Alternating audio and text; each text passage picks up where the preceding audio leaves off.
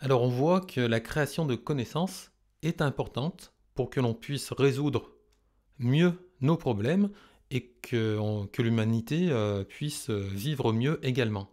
Mais nous allons voir qu'il y a un autre point sur lequel la connaissance est très importante, et David Deutsch va montrer qu'il y a une base morale dans la création de connaissances. Si on arrive à préserver des moyens pour corriger nos erreurs, pour améliorer nos théories, pour améliorer nos explications, alors nous avons la base de la morale. La base de la morale, c'est ce n'est pas tu ne tueras point. La base de la morale, ce n'est pas il ne faut pas nuire aux autres. La base de la morale, selon David Dodge, c'est de conserver, de préserver tous les moyens dont on dispose pour corriger nos erreurs. Dans tous les domaines, hein, on fait des erreurs. L'homme, il est faillible, l'homme va faire des erreurs. Donc au niveau politique, c'est la démocratie qui va nous permettre de corriger des erreurs. Et au niveau moral, on aura aussi un moyen de s'améliorer moralement si on se permet, si on préserve nos moyens de corriger nos erreurs morales. La création de richesse est importante. Hein. La création de richesse, c'est de transformer, faire des transformations physiques, pour que ce soit utile pour l'homme, pour qu'il puisse mieux vivre. Bon, alors on voit qu'avec les problèmes de l'environnement, il va falloir euh, ajuster en fait euh, nos transformations physiques. Mais c'est la connaissance hein, qui mène à la création de richesse pour tout le monde. Un individu donné peut évidemment euh, faire des, transformations. Elles seront toujours proportionnelles aux ressources dont il dispose, mais c'est beaucoup plus lié à ses connaissances. Parce qu'avec très peu de ressources, on peut faire euh, beaucoup d'énergie, par exemple, euh, penser euh, au, nucléaire. La connaissance est un énorme multiplicateur de richesse, de force, de puissance. De nouvelles connaissances nous permettent d'utiliser de nouvelles choses comme ressources et de jeter les vieilles choses dont nous manquerons peut-être par la suite. Il y a beaucoup d'exemples. Hein. Par exemple, dans le domaine de l'énergie, nous sommes passés du bois, ensuite au charbon, au pétrole, au nucléaire, aux énergies euh, renouvelables. Et donc, euh, toutes ces euh, modes de production d'énergie, il n'y en a aucune qui a été épuisée, il n'y en a aucune qui sera épuisable en fin de compte, puisqu'on va les compléter ou on va utiliser d'autres ressources. Naval Ravikant va rappeler l'opposition que certaines personnes font à cette conception euh, de la production de richesse par les connaissances. Alors certains vont dire euh, bon bah c'est bon maintenant on en a fait assez, euh, on a tout ce qu'il nous faut, on va figer le cadre, on conserve et on change plus rien. Ou alors même certains nous disent faut retourner en arrière. Une autre position, celle défendue par David Dutch ou même Naval Ravikant, c'est nous allons créer de nouvelles connaissances et comme ça nous disposerons de nouvelles ressources. Et là, qu'est-ce que répondent les gens pessimistes?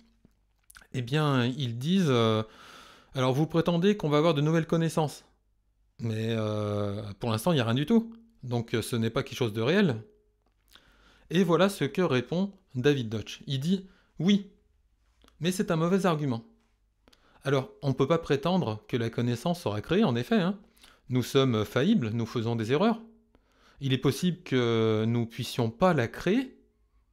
Il est possible que l'être humain se détruise avec des armes nucléaires par exemple. Et nous pouvons manquer euh, la solution qui est juste sous notre nez. Hein. Alors imaginez, euh, on peut imaginer des extraterrestres qui viendraient sur Terre et qui diraient mais regardez les pauvres humains, ils avaient la solution juste sous leurs yeux et ils ne l'ont pas trouvée. Comme on a vu que certaines civilisations ont disparu et pourtant il y avait des solutions pour qu'elles euh, survivent. Mais par contre elles n'avaient pas la connaissance. Nous maintenant qui l'avons, eh bien on voit euh, que c'était facile de, s'en sortir. Alors, est-ce que nous avons fait ce qu'il faut? Nous avons tout ce qu'il faut pour y parvenir. Mais si nous ne le faisons pas, ce sera à cause de mauvais choix que nous aurons faits, pas à cause des contraintes que nous impose la planète ou le système solaire. Il y a toujours des solutions aux problèmes. Si on ne trouve pas les solutions, euh, la faute en euh, reviendra aux hommes en fin de compte. Soit bah, parce qu'ils n'ont pas vu ce qui était sous leurs yeux, ils n'ont pas été assez imaginatifs, soit, et c'est là où on en vient au deuxième grand problème, soit parce qu'en fin de compte, ils ne se sont pas permis la correction de leurs erreurs. Et on voit qu'il y a beaucoup de systèmes qui sont fermés, hein, euh, des sociétés, des États, euh, quand on pense à la Corée du Nord, où euh, tout est cadenassé. En fait, on ne peut pas discuter, on ne peut pas corriger corriger les erreurs. C'est comme euh, une religion, en fait, on est sclérosé dans des textes sacrés qui datent d'il y a 2000 ans, même si les textes, euh, on le voit dans la vie de tous les jours, euh, sont contraires à la réalité, eh bien les gens vont continuer à les utiliser et donc ils restent enfermés et donc ils ne peuvent pas trouver de nouvelles solutions.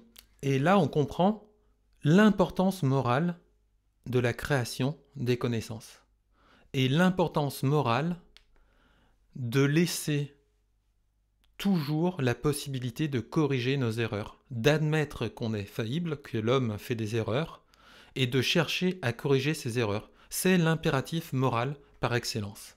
Alors il ne faut pas toujours justement voir de la malveillance hein, quand il y a des erreurs.